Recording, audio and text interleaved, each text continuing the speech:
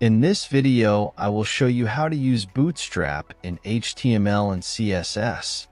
I have open live server so you can see changes right away.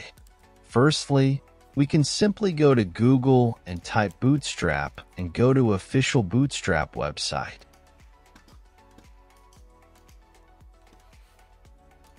Now we need find installation instructions. To simple HTML easiest way is to include CDN. Simply copy link tag to your HTML head and script tag to end of the body tag.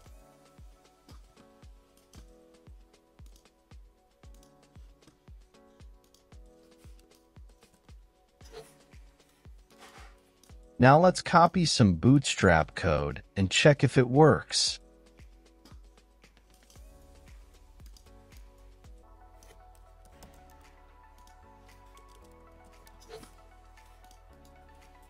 As we see on the screen, Bootstrap styles are applied. If we commented out included lines, it will stop working.